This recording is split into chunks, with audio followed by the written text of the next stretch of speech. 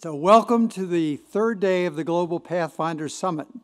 Uh, because this is my first opportunity, I too would like to especially welcome our 150 young leaders, our guests who've come to us from Virginia and 50 some countries.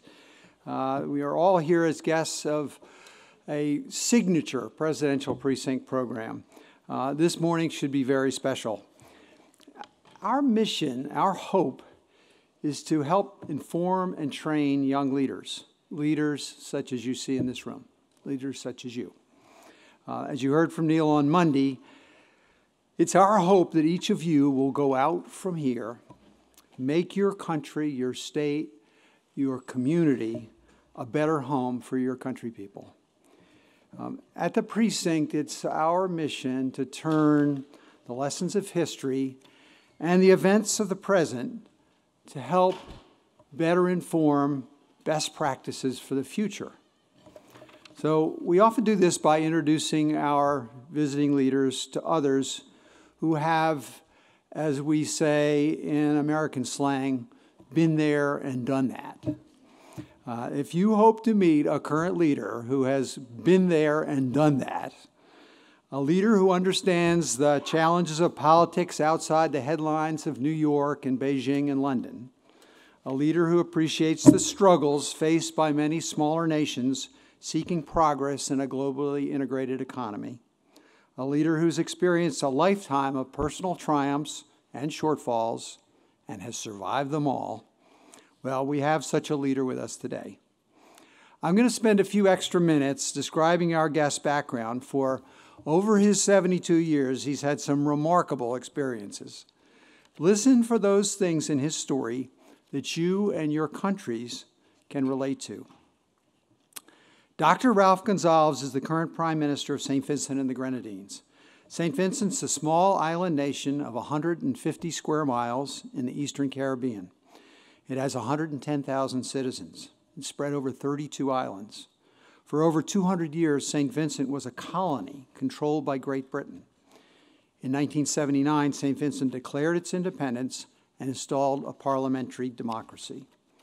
This summer, St. Vincent will become the smallest nation to ever hold a seat on the UN Security Council.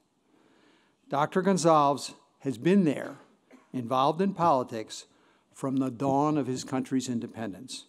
He was younger than a few of you are here today when he began. He began his career as a practicing lawyer. He was first elected to Parliament in 1994, before a few of you were born. Dr. Gonsalves was first elected Prime Minister of St. Vincent in 2001, 18 years ago. Today, he is the longest currently serving democratically elected head of state in the Western Hemisphere. Dr. Gonsalves was born in a small rural village of Colonarie in St. Vincent on August 8, 1946. That makes him 22 years old, 22 days older than I am. So his father was a farmer and a small businessman. His mother was a small businesswoman. His forefathers came to St. Vincent and the Grenadines in 1845 as indentured servants from the Portuguese ruled island of Madeira off the coast of northwest Africa. Ralph Gonsalves attended Catholic primary school and then St. Vincent Boys Grammar School. There he went, from there, he went on to the University of the West Indies in Jamaica, where he obtained a bachelor's degree in economics, a master's degree in government. He went on to study at the University of Manchester in England, where he was awarded a PhD degree, PhD degree in government, and then at Gray's Inn London, where he obtained his qualifications as a barrister. By then, he was a long way from his boyhood farm just as you all are probably a long way from home today. At university, Ralph Gonsalves participated in a full range of activities, including student politics, public speaking, debating, cricket, journalism, and he was the tenor pan player for the university's steel band. Uh, during his time there, he was a recipient of many student awards, and he was the first Vincentian student at the University of West Indies to have been chosen the Student of the Year the championship debater, and the guild or student body president. Early in his public life, Dr. Gonsalves was occasionally described as a Marxist or a socialist. In fact, uh, even today, he's still affectionately known as Comrade Ralph. Today, he governs a largely free market, democratic, capitalist country, but he will tell you he's always governed with a strong social conscience. During the Prime Minister's 18 years tenure at St. Vincent, he's become increasingly engaged in the global economy. St. Vincent's economy is evolving. What was once an agricultural nation is becoming a nation internationally renowned for tourism with a services focused economy. While this has brought trade and jobs to the country, it has also created new challenges for its government. Through its membership in the United Nations and the Organization of American States, St. Vincent is exposed to a host of 21st century international challenges. The Prime Minister must contend with competing interests, seeking his vote at the UN and the OAS. Prime Minister Gonsalves can tell you about Taiwan and China vying for small countries' votes over the issue of the sovereignty of Taiwan. He can talk about negotiating an international whaling treaty with Japan. St. Vincent lies on a major drug trading route between Latin America and the Northern Hemisphere. He has to deal regularly with Interpol, the USDEA, and other international law enforcement agencies. St. Vincent's, St. Vincent's a regular beneficiary of foreign aid from Venezuela, from Cuba, and now from the Middle East, where countries are all seeking to advance their standing in the international order. As tensions rise between these countries, it has often been Prime Minister Gonsalves who's had to play the role of broker. His banking industry is crucial to the foreign exchange of his small country, and yet, while he's pressured by many to keep an open liberal banking system, he's pressured by the EU and the UK and the US to abide by some international regulations for transparency uh, that might cripple his banking industry. So, and despite the Prime Minister's best interests or best, best efforts, unemployment is still high, around 15%, and wages are still low for many. But education has been the hallmark of his presidency. For 18 years, he has stressed education. And during his tenure, St. Vincent's rankings in the Human Development Index scores have gone from the bottom quartile to the high category. St. Vincent's adult literacy rate is now 95.6%, up from the 30s when he took office. And the average lifespan of Vincentian is notably high. St. Vincent has a healthcare system and it has a pension system. And it has notably high lifespan, average annual average lifespan for countries in the region. So the questions of how small democracies, the non-nuclear nations, if you will, can best function in a globalized world are common. They're common for many of your countries. Smaller nations too often are offered no choice but to manage to foreign standards generated by unfamiliar issues imposed by distant bureaucracies, bureaucracies that are indifferent to the sovereignty of your nations. Managing these competing interests can demand particular political skills. Prime Minister Gonsalves has been addressing these challenges for 18 years. I hope that the experiences that he relates to you today and his observations on democracy will provide some valuable information that you might apply to your own situations at home. Before the Prime Minister begins, uh, please note that when he concludes, he will remain here and take questions from delegate heirs. So, ladies and gentlemen, please join me in welcoming Prime Minister Ralph Gonsalves and his wife, Eloise. Please come up.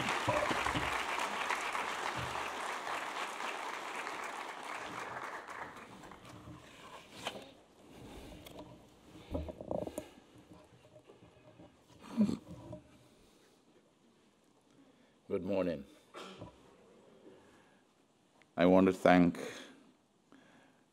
Jim Murray and uh, all the organizers of this event for their kindness and for their hospitality. I met this morning a magnificent young leader here in Virginia and others. And I'm very pleased to be here to speak with you, interact with you, answer your questions, and to learn from you. I want to thank Jim Murray for his introduction and for putting out certain basic facts about St. Vincent and the Grenadines. I'll make one addition in terms of backdrop. Though we are small, 150 square miles, we have a seascape of 11,000 square nautical miles. That's very important because it means that though the land on which we live is of great importance, the sea and its resources are at the center of our own developmental thrust. And the issues concerning global warming relate not only to matters of adaptation and mitigation in respect of the landscape, but also of the sea and the availability of resources and how do we protect those resources. Marine resources, fish and lobster and conch, um, tourism resources. We have to deal with the rising sea levels and the like. And where the matter of climate change has become urgent because the changes have been unusual and they have been unprecedented. And anyone who tells you about don't worry about climate change and de deny it, they will deny science. It's real and it's happening before our eyes. And we see it in, especially in small island developing countries. Now, we have been fashioned as a democracy. Colonialism, British colonialism came to us in 1763. There was a general carve up in the Eastern Caribbean between France and Britain.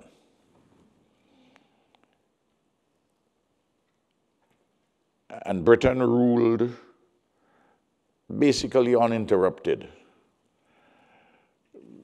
save and except for about five years in the, in the latter part of the 18th century.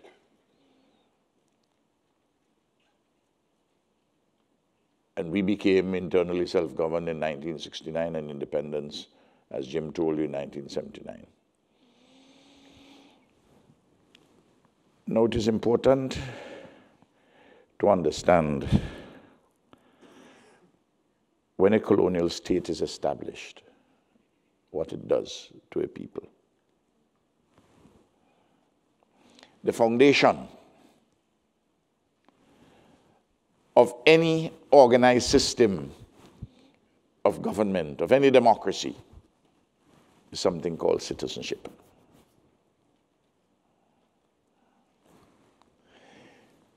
It is the highest office in the land. It is the one which joins all persons who are citizens in a political community or society organized as a state within a particular uh, set of geographical boundaries. But if the state is imposed and doesn't arise as it did, for instance, in Europe and in several other countries of the world, as a consequence of the internal contradictions of the society. And this state is imposed, and the imposition is emphasizing minimalist functions, collection of taxes, provision of basic services, and very importantly, the maintenance of law and order, and using the legal system as repressive that those who are found there in such a society with an external imposition of a state, that the ordinary man and woman, the ordinary citizen of this state, which has been imposed from outside, sees the state as a constellation of institutions to be used, misused, and abused, and therefore they have no commitment to it. And to have a true representative democracy, you have to own the state. It has to belong to you. You have to own your government. Now you will go and you will see, you read the internet, and you will see that there are, St. Vincent and the Grenadines is the only country in the Eastern Caribbean, the Organization of Eastern Caribbean States, which doesn't sell its passport and doesn't sell its citizenship. How can we? If citizenship is the highest office in the land, it's an interesting Jeffersonian concept. It's higher than president, it's higher than prime minister.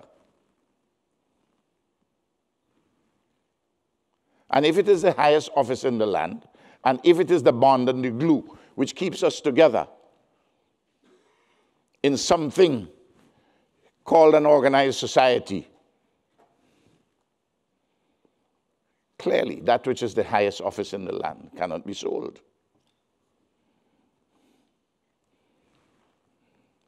And the passport is the outward sign of the inward grace of citizenship. And that too cannot be sold.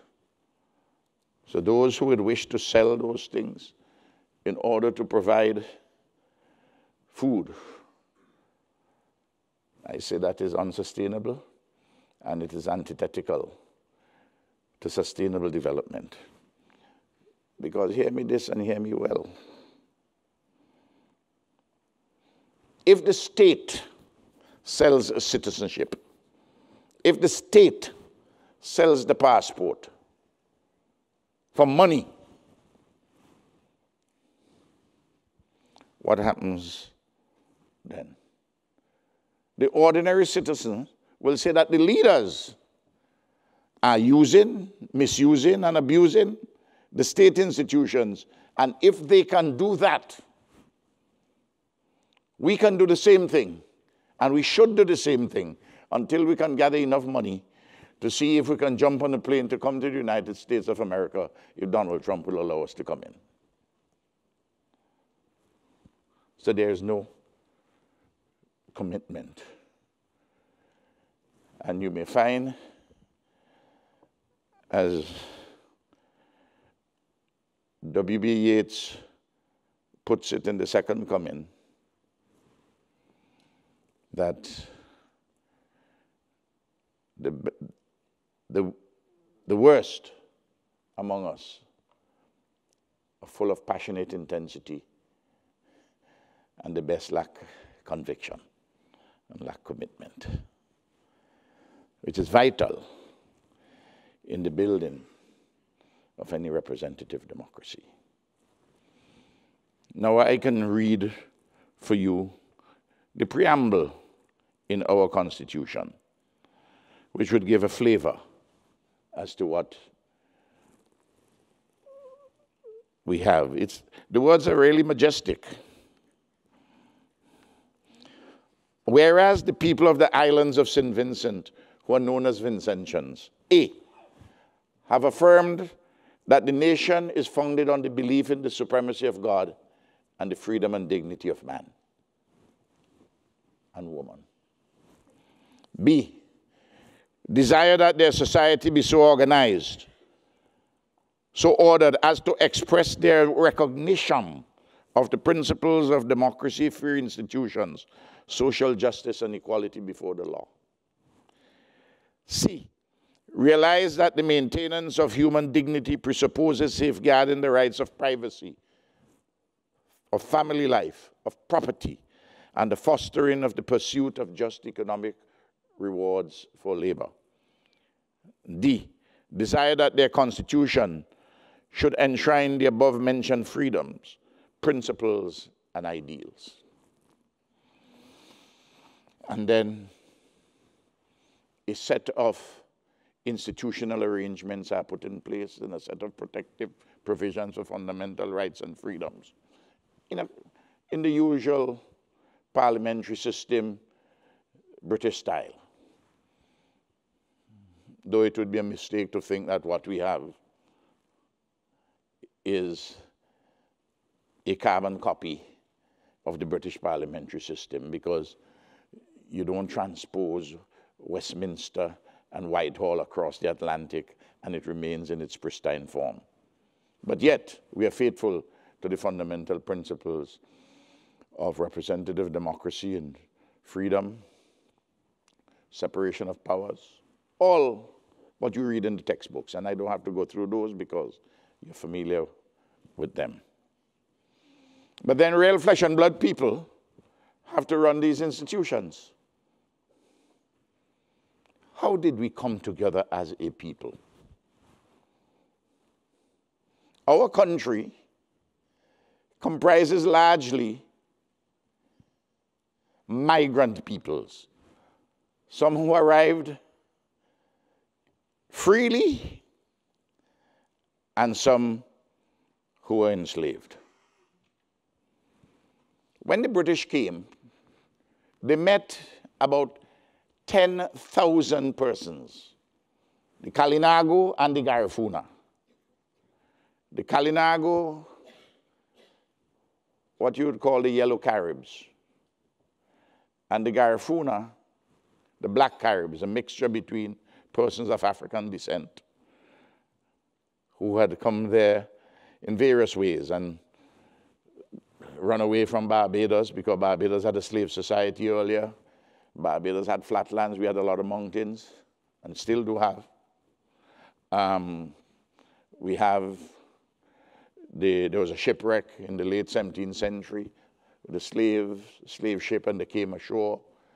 And in an earlier period, a small number of slaves brought there by French people on the western side of the island. When the British came, they owned the Kalinago and the Garifuna, owned all the land in common. There was a chief, a paramount chief.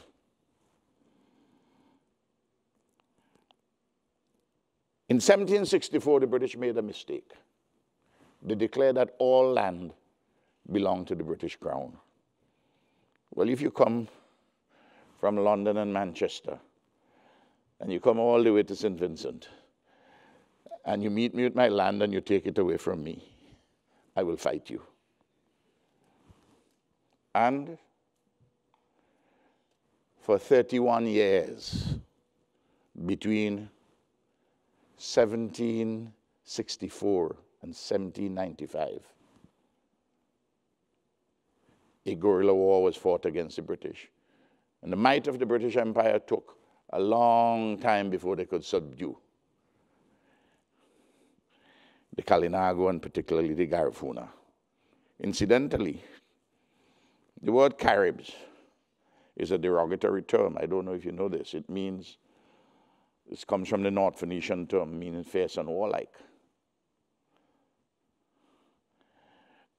And because the people reacted for the theft of their lands and for their subjugation. The Europeans called them fierce and warlike. But the people in their own language called themselves Kalinago, which meant the peaceful ones. Because we were there living peacefully. And you came from where you came from to take my land. And I will fight you. It's elemental. The people fight their neighbors over 100 square feet of land in the boundary, much less you come and take all the land and say it's yours. And then the British carried out genocide when they defeated the indigenous people and killed the paramount chief Chatoyer, whom my government has installed as the first national hero of our country, the only one thus far.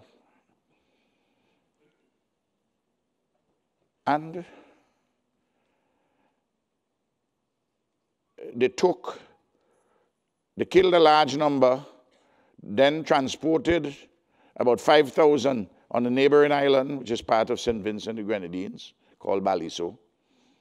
They lived there for six months. Half of them died. They didn't have any water. They didn't have any food. And the other half were deported, exiled to Roatan Island in the Bay of Honduras. And from there they went to Belize, to Guatemala, to Honduras, and to Nicaragua. And for these people, our Garifuna brothers and sisters, St. Vincent and the Grenadines, is, spirit, is their spiritual homeland known as Yurumein. And Chatoyer is a national hero in Guatemala, uh, sorry, yes, in Guatemala, known as Atoye, though he never set foot there.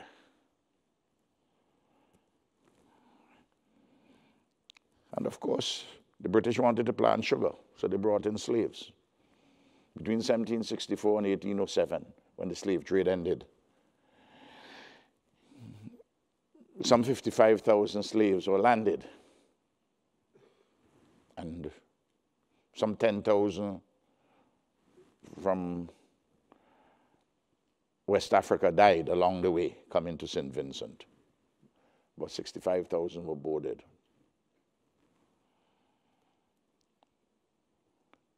And then after slavery came to an end in 1838, about 2,200 Madeirans were brought. Madeira is a tropical, subtropical island. Had, the British had brought some donkeys from Madeira and they did very well. And they thought it would be a magnificent idea if some two legged ones had come when some of the slaves decided that they weren't going to go uh, go back on the plantations to work. And then a little later, some Indians came, were brought as indentured servants. So that you notice the population mix already. You have the Anglo-Saxons who came as the colonialists, you have the indigenous people, you have the Africans, and you have the Indians, and later on some Chinese came, and then some Arabs, and so on.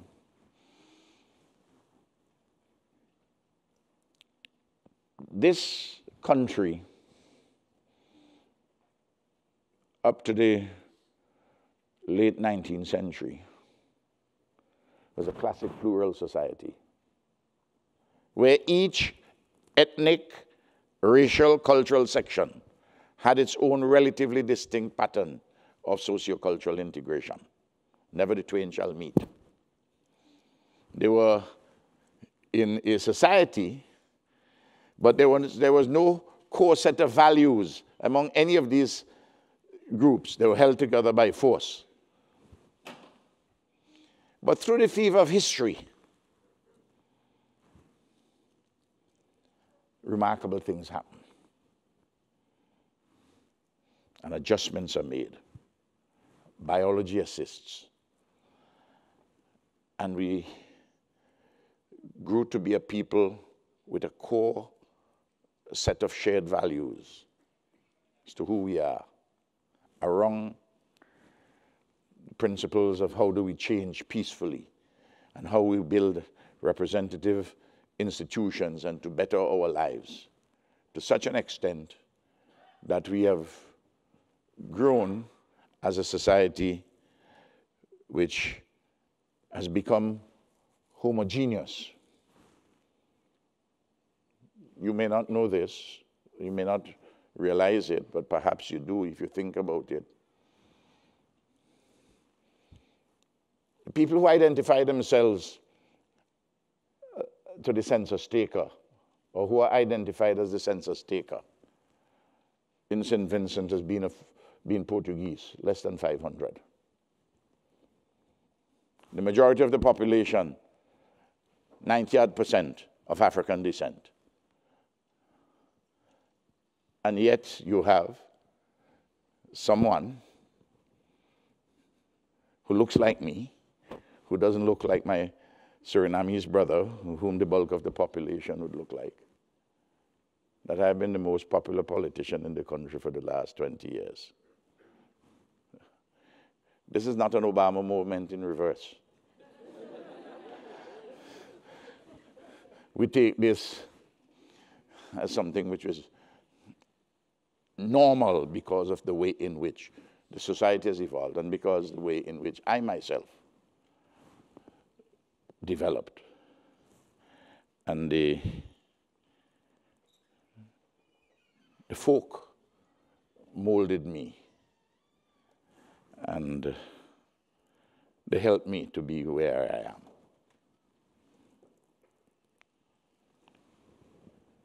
Now, Jim made the point that we have an economy of largely of services, which is true now, about 80% of our economy, services.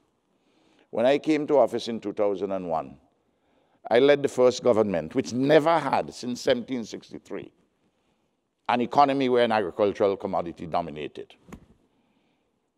In succession, we had sugar, arrowroot, cotton, bananas.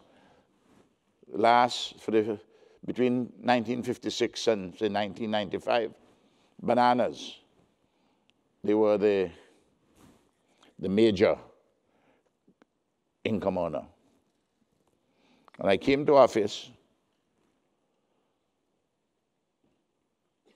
in a situation where bananas had gone because Britain entered the European single market and economy and the banana preferences went.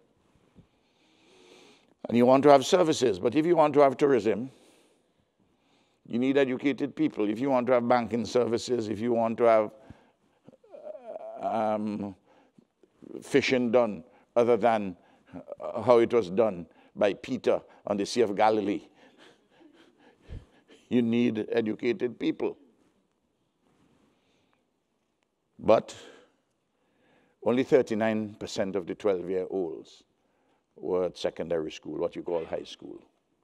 Within five years, I had all of them in secondary school. I carried out an education revolution which is thoroughgoing, and I'm on target for one university graduate per household on an average by the year 2030. Remarkable changes have taken place in that regard, and we're having dividends. We need to have, you can't have tourism and other services unless you have proper air services. And therefore, build a modern international airport and organize proper air services. Doing the same thing with the port. These are important cross-cutting developmental issues. Uh, there's a gentleman, His Excellency Donald J. Trump, who has an acute understanding of small islands, or islands. Remember, in, when Hurricane Maria struck Puerto Rico, he didn't respond with the alacrity that some of his critics thought that he should. And he said his critics didn't understand Puerto Rico that Puerto Rico is an island surrounded by water, as though islands can be surrounded other than by water. and just in case you missed the point, he said big water, ocean water. And I agree entirely with the president for having such an acute and profound understanding of islands. We are surrounded by big water, ocean water. We can't, we can't get from there to elsewhere by road or by rail, so we have to fix up our airports, our air transportation, and our ports and our sea transportation. And importantly, if we want to be an example to everybody in this era of climate change, we had to go green. By February 2022, 80% of the electricity in my country will be generated by renewable energy. All these are work, are works of a democratically elected government in free and fair elections periodic every five years. We don't have term limits. So I can go as long as the people would want me to go, or as long as Eloise permits me to go.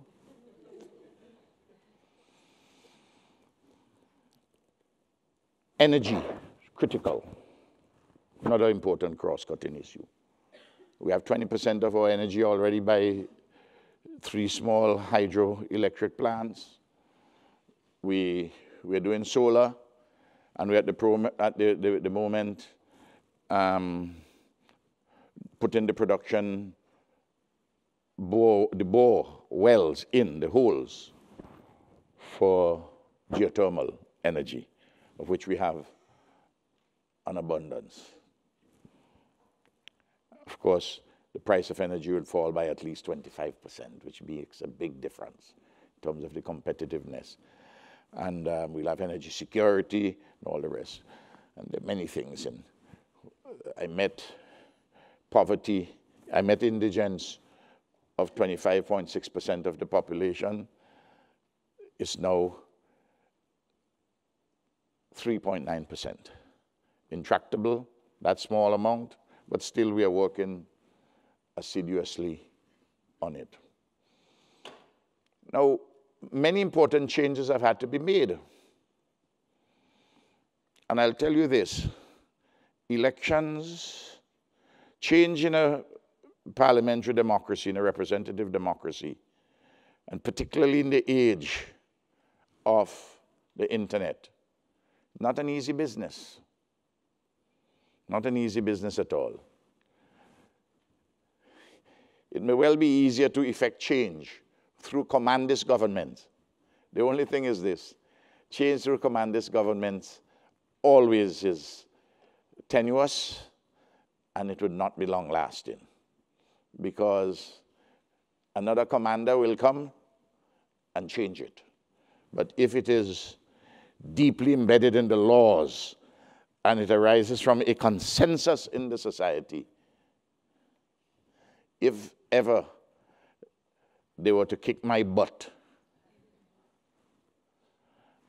or I demit, whoever comes after would have to be very careful if they make alterations to initiatives which the people have already voted upon and which the people see uh, embedded in a legislative jurisprudential basis.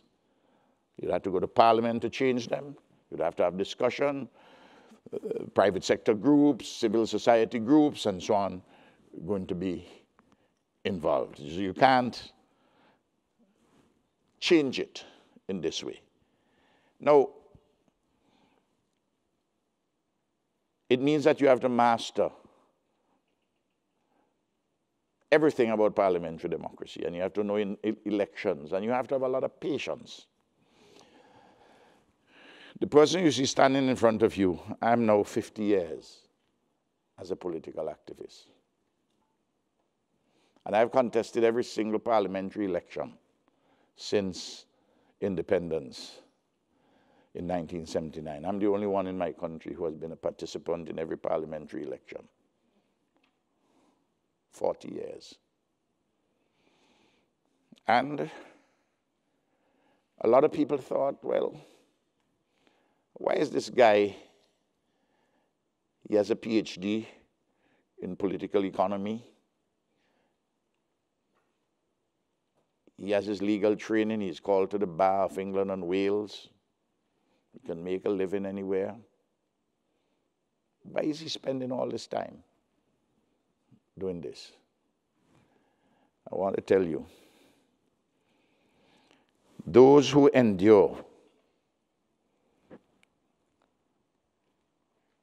wilderness years are likely, if ever they get to office, will last longer. It's important for wilderness years if you want to make change. You have commitment and sacrifice. It doesn't come easily. What I'm telling you is not something new. You read the Hebrew Bible. There's Moses, there's Joshua, there's the prophet and Nehemiah. And once I told the parliament in St. Vincent and the Grenadines, when they didn't quite understand wilderness years, and, and then I said humorously, and there is Ralph. No. You have to build organizations. You want to be a leader? You better love people. That's the first requisite. You have to love people. Oh, I'm sure all of you are bright. Many of you have degrees and doing graduate degrees and so on and so forth. Carlos can tell you, Senator James. When they come, all the young men and women, I said the first requisite you love people. And don't love them in some marginal kind of manner. You love them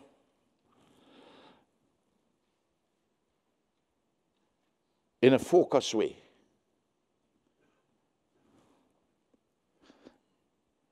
You love them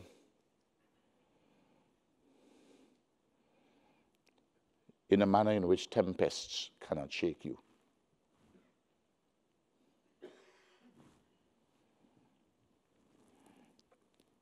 And you have a clear vision as to where you want to go, and you're organized. Now,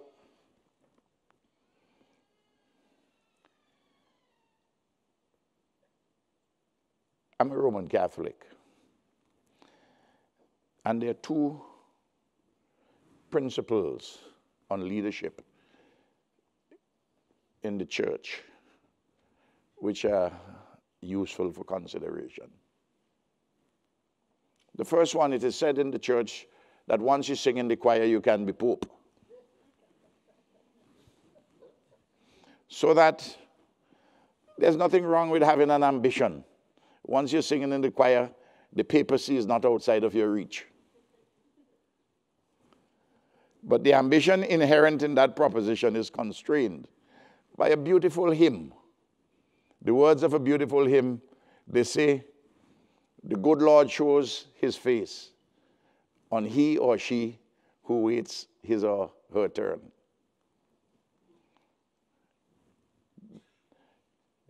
You have to be in communion with the people. They have to knock you about. I'll tell you this. Today, when I go to a political rally, all the modern paraphernalia, and 10, 15,000 people are there. And there's music and everything, all the razzmatazz of modern mobilization. But it didn't start like that. That's where you build it. Had a small party, small political party. On a Thursday night, I'll have an executive meeting and we'll decide that we'll go in into a, a particular area in the countryside to have a political meeting on the Saturday at 5 o'clock in the evening. I had an old Cortina car, the steering wheel tough like a truck. I had in the trunk the four funnel horns. You remember those old funnel horns? Well, you probably wouldn't remember them because I had a small black amplifier on the back seat, and I have, have a, the, the car has a 12 volt battery. I set up my amplifier and everything with this 12 volt battery. And I await my colleagues to come. Nobody else turns up. The girlfriend want the car. They had to go somewhere else. Good people, but you have to have discipline and you have to do this thing well. But I wouldn't go away. I'll be the chairman of the meeting. I'll say the opening prayer. I'm the chairman. I'm the first speaker, I'm the second speaker, I'm the third and fourth speaker. I will speak for three hours or thereabouts non-stop. And when I'm finished, on every subject under the sun, I give the benediction. I take up my equipment. I go into certain areas, they're so hostile. The people wouldn't even come out. As soon as I set up, they close their doors and their windows. I'm speaking. You're hearing me. Sometimes I would speak to audiences consisting of an old man, a fat woman, and a dog. The dog being the most attentive of my three listeners. But then I will go there in the week and I'll talk to the people. And two weeks later, I will go back. And then you see a few people out. Then I will go back again. And then after the meeting, a family would ask me if I am not hungry, if I want some food to eat, please come and eat some food because you talk too much tonight. And then you're making progress because you're learning. People see your love, it's tangible, it's real. And don't, don't worry. You will make history as soon as the sun, rises. But remember this always that great leaders make history. Great men and women make history, but only to the extent that the circumstances of history permit them so to make.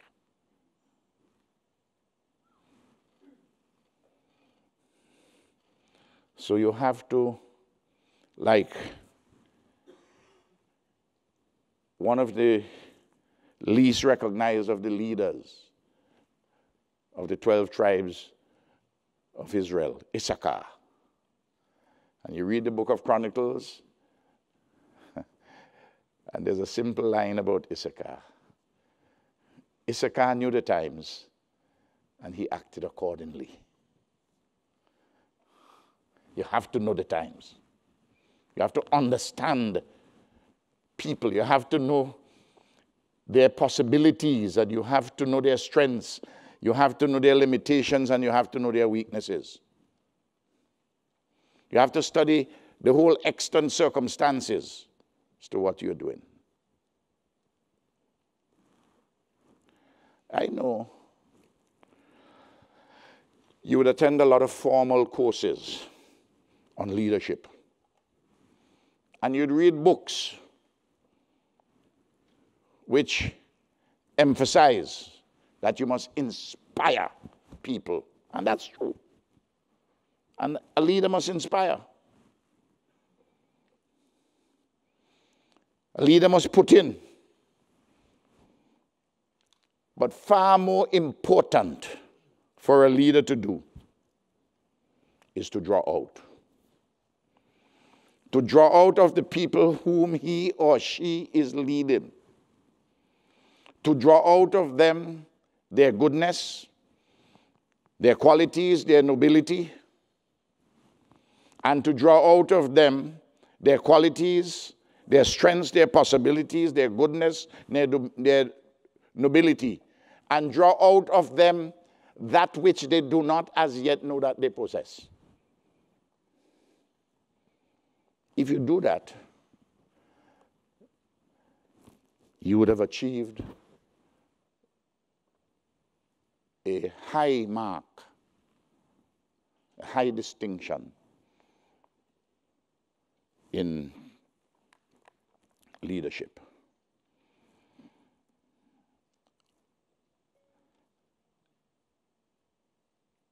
I have been Prime Minister for 18 years. As Jim said, I'm the longest serving head of government in the hemisphere. I never thought that that will happen. In the dark days of the wilderness, I didn't even know whether I'd become a leader for one day, much less to 18 years. But you do what you think that you have to do. and you build. St. Vincent and the Grenadines, we don't believe, and I don't believe in bling. I'm not a bling man. I don't believe in doing things which are not sustainable. And I explain to people why.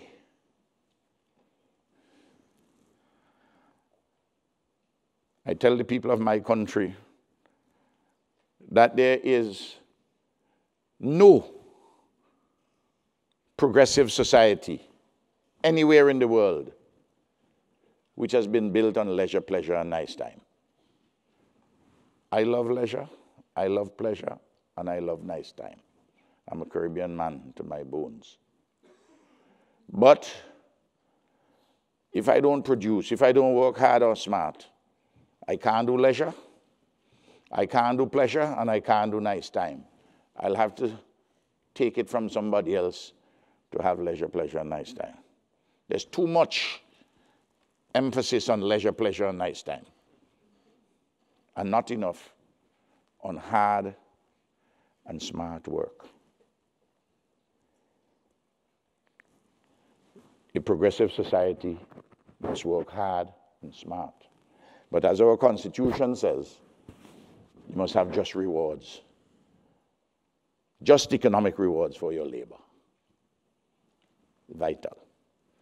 And we agree at those in a consensual way. St. Vincent and the Grenadines has to make use of its instruments of sovereignty and independence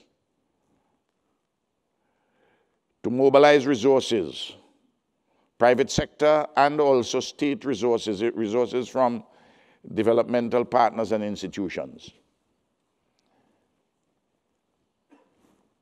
To do so, it must always be very careful and always be very prepared and always have a clear path forward. You may be surprised to hear we, had, we built an international airport, and you may say, what's difficult about that? Well, our country is mountainous. People wanted to build one for 50 years. Nobody knew how to do it. To build an airport in St. Vincent, I had to move three big hills and one mountain. I had to span a stream and a river. I had to move 140 middle and upper middle income houses and cause them to be built elsewhere. I had to move a church and a cemetery for starters. I built an airport without the imprimatur of any country in Europe or in North America, built entirely on the basis of South-South cooperation.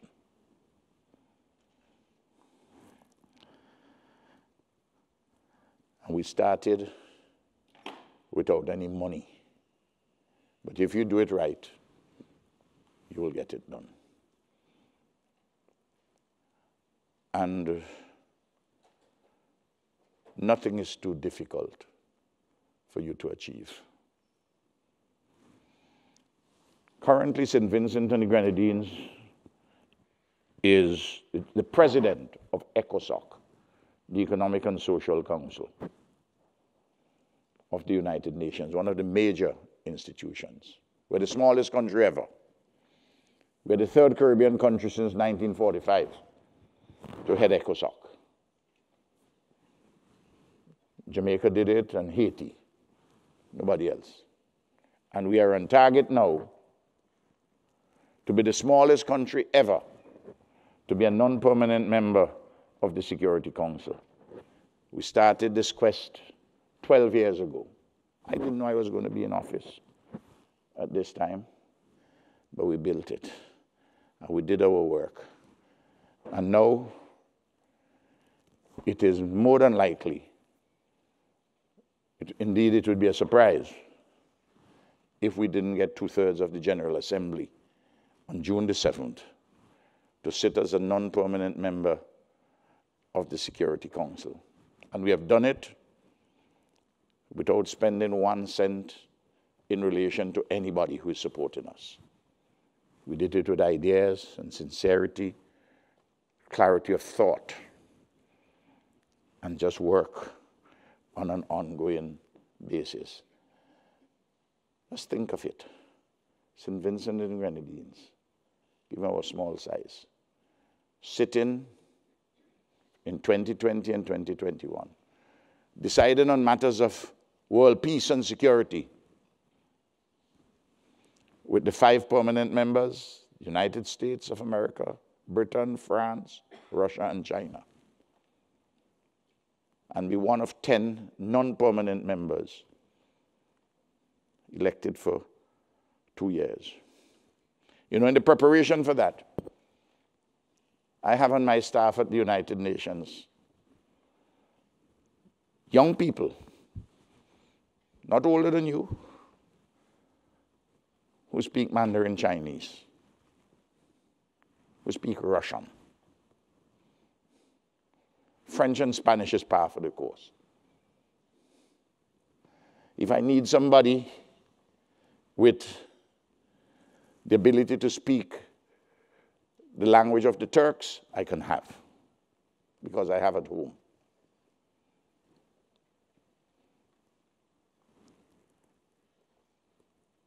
The world is hostile to small island states. Climate change is an existential matter of ex existential significance. But I can't put my hands behind me and sit on them. I have to do the only thing that human beings have done from the beginning come to terms with nature, come to terms with the external environment, and work out among ourselves. And we have the experience, and the knowledge of people like Jefferson and, and others of the founding fathers in the, in the great United States to build something which is lasting. Thank you very much.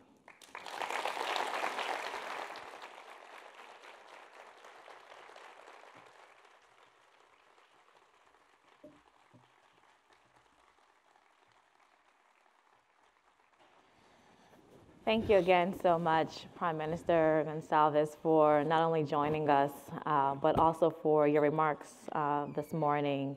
What I'd like to do is kick off our Q&A with a question and then open it up to the audience, sure. allowing for three questions and asking that you respond to all three of those at once. In your remarks, you talked a great deal about the darkness and the weariness periods of time.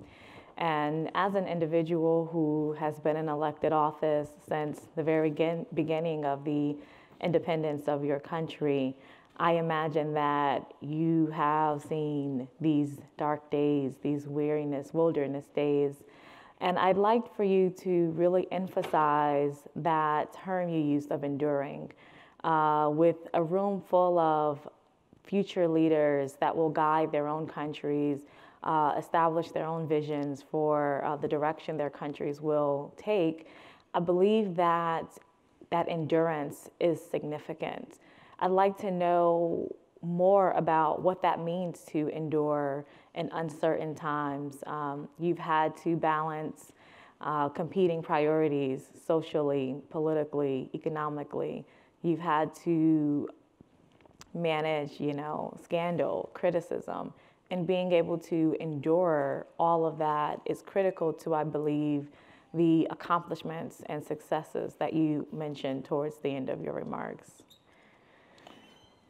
Well, I think, uh, thank you very much. And, and you have been inspiring. you are inspiring. Thank you. Look, you have to believe in yourself. You have to have a clear idea as to where you're going. And you have to have good support systems. You have to build structures, you and your colleagues. And when you are at a stage in your life that you, if you consider it necessary and desirable to have a spouse, make sure that that spouse shares what you are about. When I was getting married to Eloise, I, I said to her, listen, the journey I'm on is a very difficult one. If you want an easy life, let me just leave you here. I say you, I was in opposition, I was struggling. I say, in addition to being married to you, I have two mistresses. One is known as politics, and the other one is law. And you will maintain suzerainty by making sure that those two mistresses don't take over and to have some sense of balance and it's important. Um, and if you think that you are in this business of leading in politics to make money, stay in something else. Now,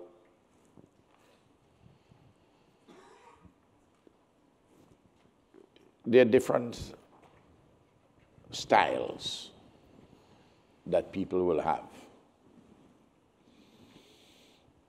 But styles of leadership and how you do it is really depend on all the circumstances and your own persona. I told Neil when I was talking to him about this very question. A young person coming into leadership, don't get too obsessed with your brightness. You know, there are two kinds of brightness brightness which blinds, and the brightness which illuminates. If I'm driving my SUV in your direction and you're coming in mine, and both of, our, both of us are on high beam, there's a lot of brightness, but we're not seeing each other. You have to be able to clear the pathway and work with people. And you look at what are the main events. The people who are always going to try and take you up, detract from you, including in, the, the, the, in this age of the internet. I mean, there are all kind of crazies who will say all sorts of things and fake news and all the rest of things. You just don't bother about those things. You know, we have a word in the Caribbean, certainly in my country. Word, it's, it's spelled C O M M E S S, commess. Commess means vituperative language used against you, slander, defamation, um, uh, innuendo, all sorts of made up stories. And you simply tell the people that you may run a campaign on commess, but you can't run a government on commess.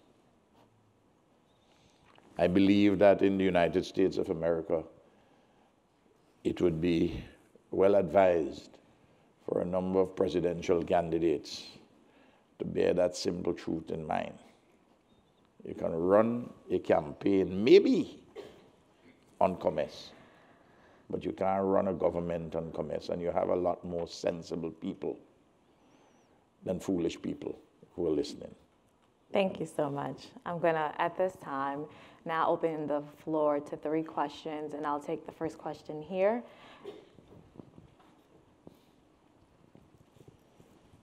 Thank you very much. Uh, Excellency Prime Minister, thank you for the opening remarks and for all your inspiring uh, speech. I am Genti from Albania, a small country as well, of 3 millions in the Balkans. Uh, my question would be uh, is related to something that, that you mentioned that you will uh, run for office as long as your people vote you and as long as your wife is fine with that. So uh, this is the same more or less issue that we're facing, uh, some scholars are, are commenting on, on Angela Merkel, the chancellor, saying that enough should be enough. And sometimes the elites should change and new generations should not be prime ministers, but should create the path for, for new uh, leaders to, to, to come in. There is a, a, huge consensus that you are, I was reading yesterday international media comments on you, are very charismatic leader, well respected, intelligent and everything. But don't you think that elites should be, should circulate and maybe limit the mandate of the prime minister or of the president to two or up to three mandates, maybe? And before you respond, democracy? we're going to take oh, the other sorry. two. Thanks. Thank you. Yes, here. Good, uh, good morning, Prime Minister. My name is Jaquel Goodwin. I am a student at Hampton University and a Virginia delegate. Um, you talked about ordinary women and men should feel represented and own the government. How do you um, entice the people to feel motivated uh, during trying times um, and through rural circumstances? And I'll take one additional question. Here. I, I think there's a young lady. Okay, fine. yes. Me? Okay. Um, hi. Um, I'm Lisiane. I'm a social entrepreneur from Brazil. Thank you very much for being here with us and for um, taking the time to inspire young leaders to take leadership and be responsible. Um, I would love to add a question to, to what has been said. Um, that is, how do you see your role in mentoring and in training new people to be in positions of power in the country? Thank you. Yes. My brother from Albania, in the circumstances of St. Vincent and the Grenadines, I do not believe in term limits. Generally speaking, in parliamentary democracies, in prime ministerial systems, as distinct from presidential ones, there are always challenges institutionally in dealing with term limits. The people within your party and within the electorate will decide when to get rid of you. They did it to Margaret Thatcher. Um, they did it to Tony Blair. I'm using the British parliamentary system. it looks as though they want to do it to Theresa May.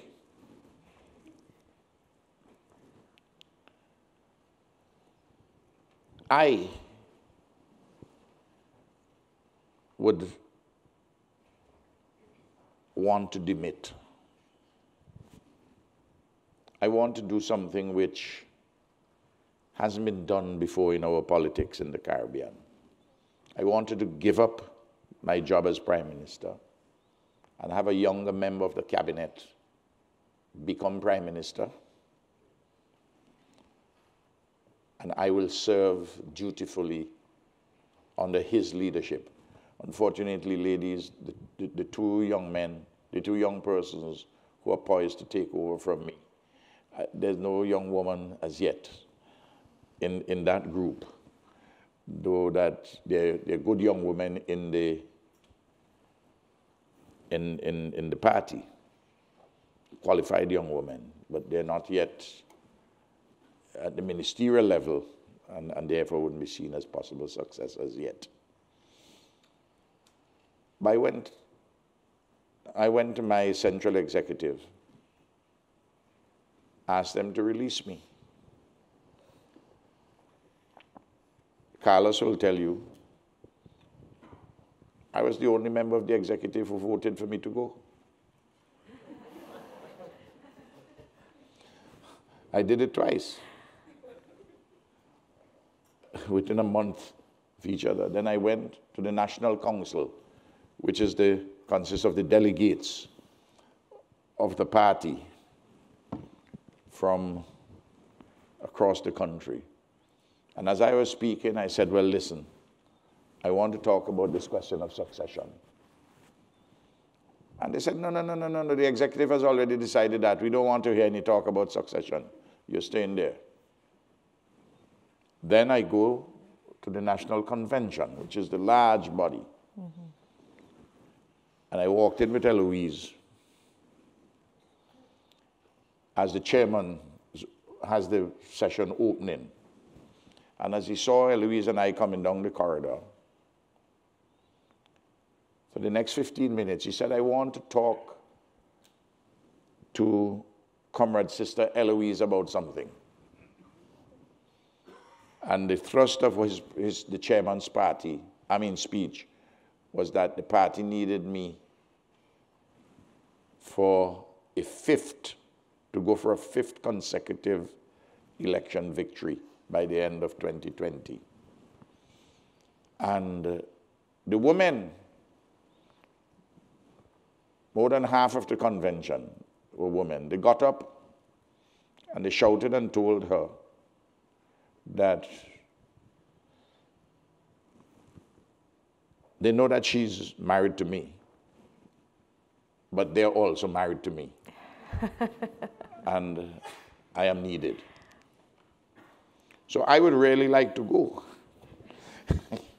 Maybe you can help me to, to, to, to, to get a better amended lyrics of Engelbert Humperdinck's Please Release Me, Let Me Go. but that, you don't know Engelbert Humperdinck, eh? I know, uh, I think that's gone all over your head, I tell you. um, though the polls, the polls, the polls tell me all the time that though I'm 72, I'm going to be 73 in August, that I'm the most popular politician among young people in St. Vincent and the Grenadines. So clearly the, the, the young people have a, a, a, soft spot for the elderly. um, now, the questions asked by our my comrade sister and my comrade here. I use the word comrade a lot because it means solidarity, oneness. If you come to the airport in St. Vincent and the Grenadines and you say, Oh, I'm, I'm, what are you going to do? You come in, you tell the immigration officer, Well, I have an appointment with the comrade. They say, You know the comrade? I believe they will help you get through a little easier through immigration. um, um,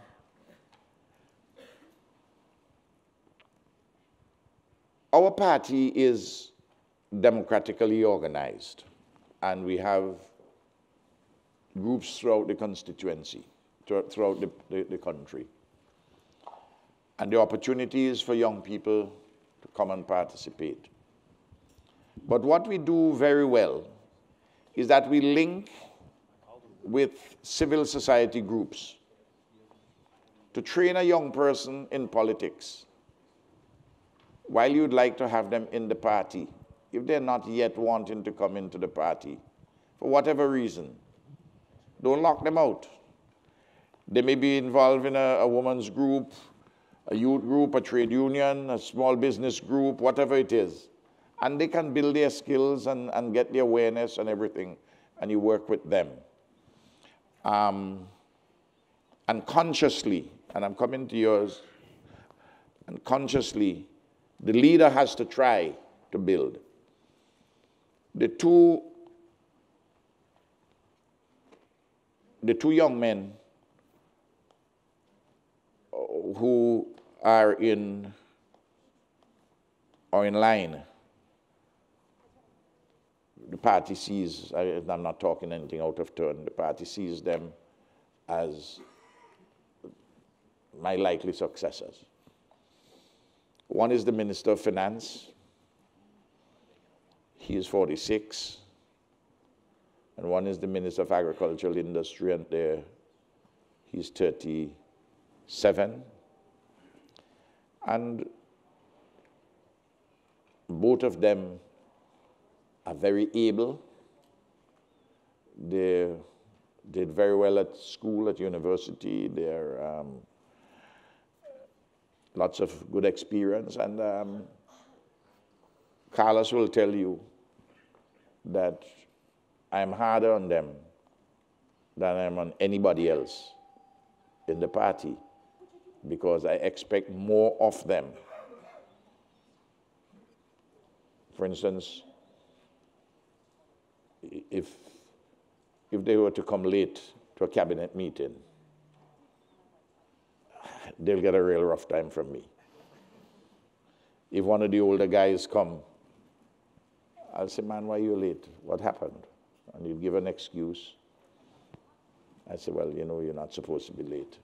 But any of these two, ooh,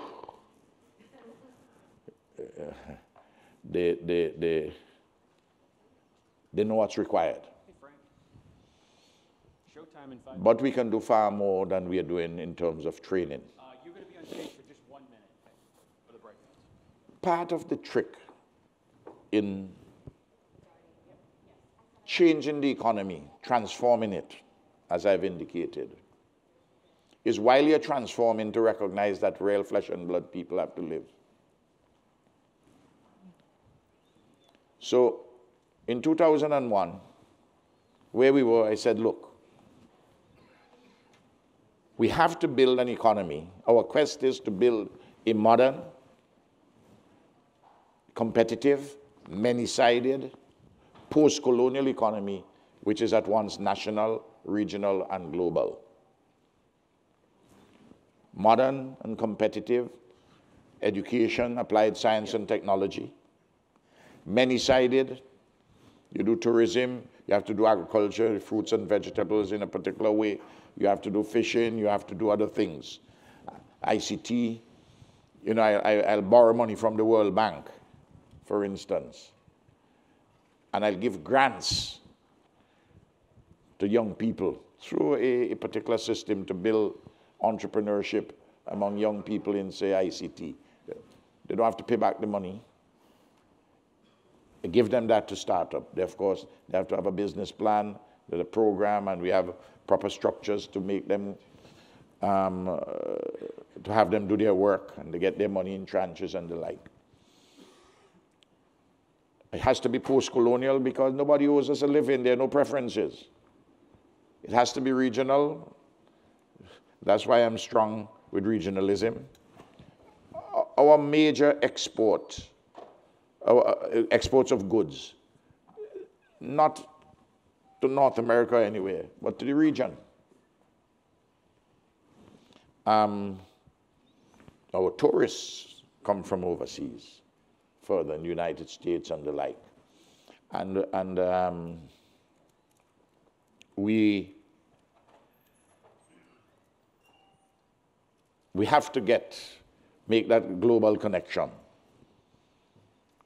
But while we, are, while we are transforming the economy and put it on a sustainable footing, and if you want to see what they are, you can look at the 17 Sustainable Development Goals um, adopted by the United Nations General Assembly in September 2015. The, the, the framework is basically there. And, and I will tell you, do I come from the left of the political spectrum? Like Deng Xiaoping, it doesn't matter me what the color of the cat is, so long as it catches mice. In other words, what works is, is, is an experience teaches what, what, what works. And I build a good social infrastructure and do a lot of creative things to, to, to make sure that I reduce poverty and, and, and children don't go to bed hungry at night. I, I have a, an excellent school feeding program um, for, for, children in the primary school.